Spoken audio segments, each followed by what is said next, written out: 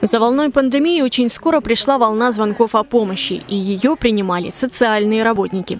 Валентина Тарасова объясняла жителям возможные меры поддержки, записывала адреса, списки продуктов, сама их отвозила и даже относила. За первые месяцы сюда обратилось 1200 человек. У нас волонтерами как раз работали сами сотрудники.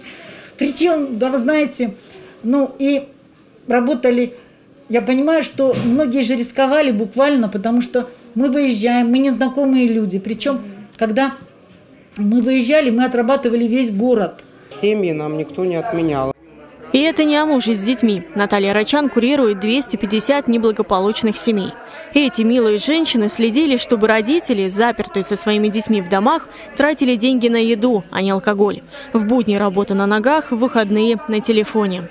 Когда вот начался спад вот этого всего карантина и вируса, вот тогда уже, наверное, мы где-то расслабились и поняли, что в какой напряженной ситуации мы работали.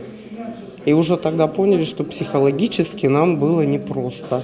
А в тот момент, ну нет, как-то мобилизовали все силы и вперед работать. Тогда мало кто понимал всю опасность вируса, но сразу стало ясно, в защите нуждались и сотрудники центра, и их подопечные.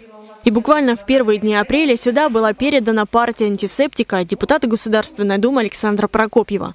Сотрудники центра обрабатывали санитайзером руки, передавали его многодетным семьям. Я искренне вам благодарен за, э, наверное, ваше отношение к своему труду и за верность своей профессии. Э, более чем уверен, что люди, которые от вас получили эту помощь, ну, э, молятся на вас. Ежедневная помощь не единственное, что делал Центр соцзащиты Октябрьского района. В 2020-м ковидном году здесь оборудовали комнату для занятий спортом для детей из неблагополучных семей и реабилитации инвалидов. Вот здесь, ну, скажем так, подвешивается, угу. и он может передвигать ножками, находясь вот в таком подвешенном состоянии. Клетка с растяжками, велосипед, шведская стенка и другое спецоборудование. Для многих мам это единственная возможность заниматься с ребенком. Работы в центре много, адресная помощь продолжается. Внимание подопечным требуется часто и вне рабочего дня. Поэтому слова благодарности и подарки очень приятные и дают новые силы.